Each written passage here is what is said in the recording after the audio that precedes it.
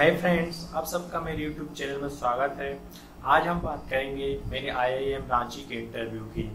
तो जब भी हम किसी इंटरव्यू बैठते हैं तो इंटरव्यूअर का फ़र्स्ट क्वेश्चन होता है tell me about yourself तो जिसमें हम अपने बारे में नॉर्मल नॉर्मल चीज़ें देंगे, अपना इंट्रो देंगे, जिससे कि थोड़ा इंटरेस्टिंग लगे। मैं आप सबको एक बात बता देना चाहता हूँ कि ये आप पे डिपेंड करेगा कि आप इंटरव्यू को अपने हिसाब से चलाना चाहते हैं या इंटरव्यूअर के हिसाब से।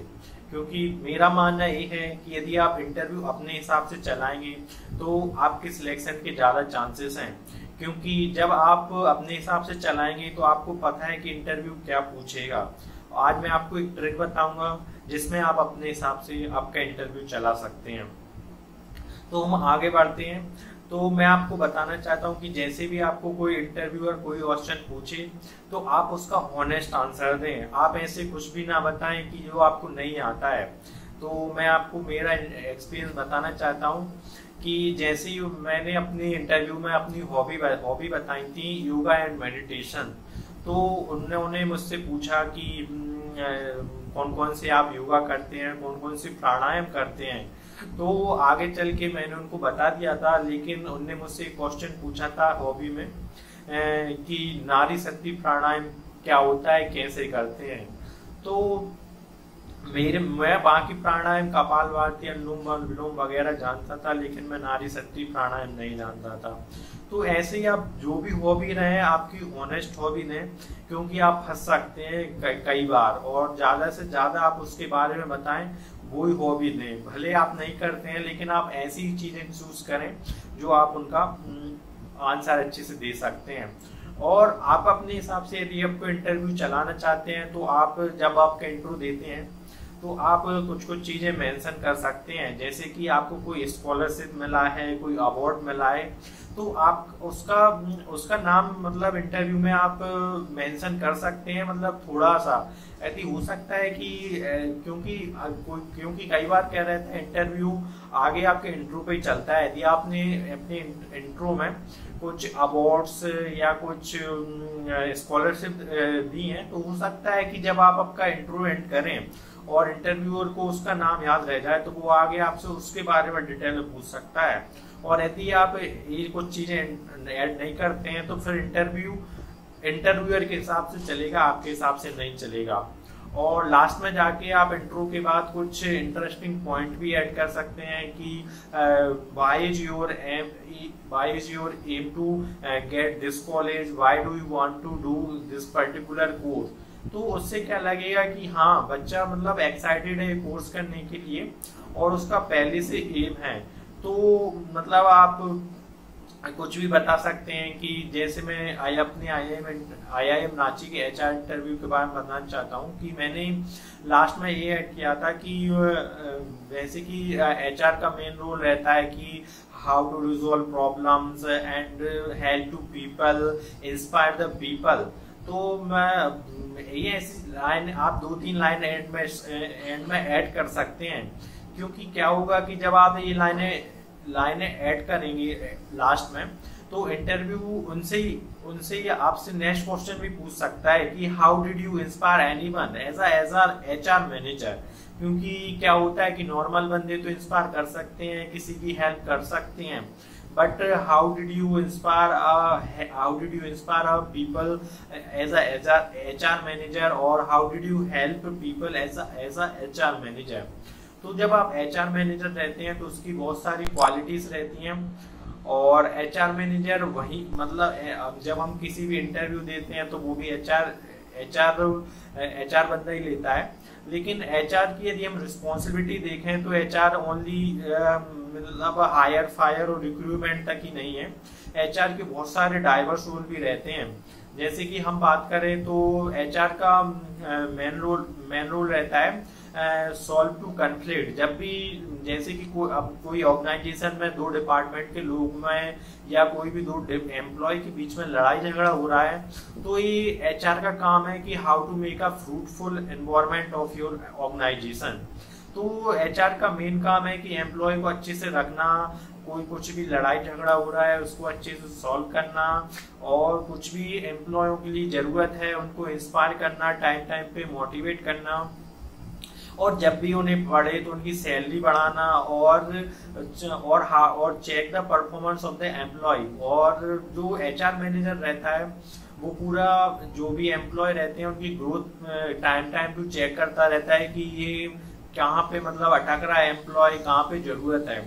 और जो एच आर एम्प्लॉय रहता है, वो जो एच आर मैनेजर रहता है, वो वहीं तक सीमित नहीं है। वो एम्प्लॉय के घर तक भी सीमित है कि वो मतलब उसको ये पता होने, पता रहता है कि उसके घर में तो कुछ प्रॉब्लम नहीं नहीं हो रही है, जिससे कि उसकी ग्रोथ इफ़ेक्टिव हो रही है ऑर्गेनाइजेशन में। तो एचआर मैनेजर के बहुत सारे रोल हैं। तो तो आप ये इंटरव्यू में बता सकते हैं, क्योंकि ये इंटरव्यू में बहुत सारे एच का इंटरव्यू टोटली डिफरेंट रहता है, जिसमें बहुत सारे, बहुत सारी चीज़ें वो आपसे पूछ सकते हैं।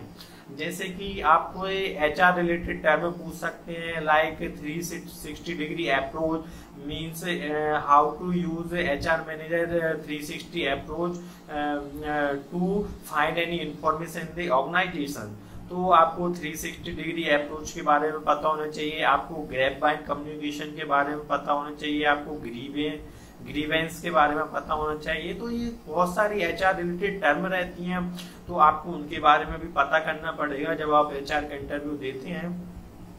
और एच का इंटरव्यू देने जाते हैं तो आपको बहुत सारे लॉस रहते हैं लॉ रहते हैं।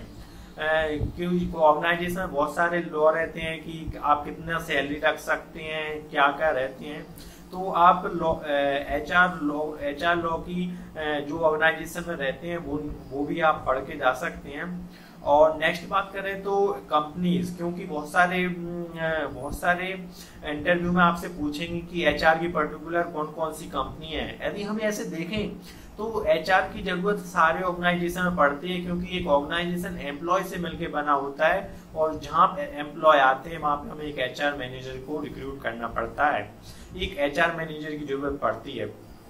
तो वैसे तो पर्टिकुलर आप और आपसे ये भी पूछा जा सकता है कि आप कौन से एचआर मैनेजर से इंस्पायर होके, आप किस फ़ेमस एचआर मैनेजर पर्सनालिटी से इंस्पायर होके आपने एचआर में जाना चूज़ किया।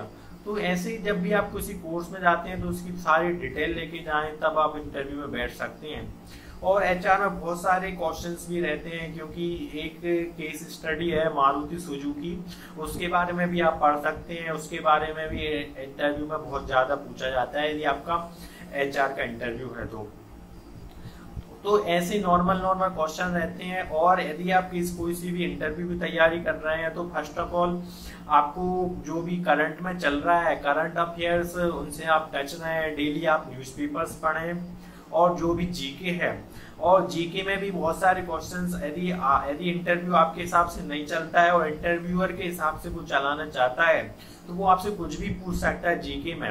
तो और जीके में नॉर्मली हम बात करें तो एम इंटरव्यू में नॉर्मल वो आपसे पॉलिटिक्स के जो सेंट्रल पॉलिटिक्स है और जो स्टेट पॉलिटिक्स है, उसकी क्वेश्चन पूछते हैं लाइक लोकसभा राज्यसभा में कितनी सीट्स हैं और हमारे जो सेंट्रल यूनियन मिनिस्टर्स हैं, उनकी लिस्ट उनमें से आपसे किसी का नाम पूछ सकते हैं, जो भी करंटली कोई मुद्दा चल रहा हो तो उस हिसाब से सेंट्रल यूनियन मिनिस्टर्स का नाम पूछ सकते हैं।